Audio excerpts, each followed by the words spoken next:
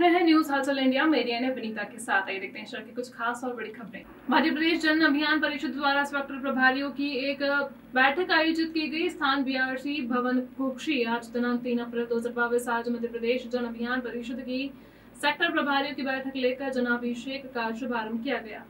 जन अभियान परिषद के माध्यम से प्रस्फुटन समिति एवं B S W C M C L D P के विद्यार्थियों के सहयोग से जल के संरक्षण के लिए जागरूकता कार्यक्रम किया गया, जिसके माध्यम से गाँव के लोगों को पानी बचाने के लिए अपने अपने स्तर पर सभी प्रयास करें। इसी के लिए जन जागरूकता कार्य किया जाएगा एवं शपथ भी कराई जाएगी। इसी को लेकर आज ग्राम विकास प्रस्फुटन समिति सेक्टर प्रभारियों की बैठक रखी गई।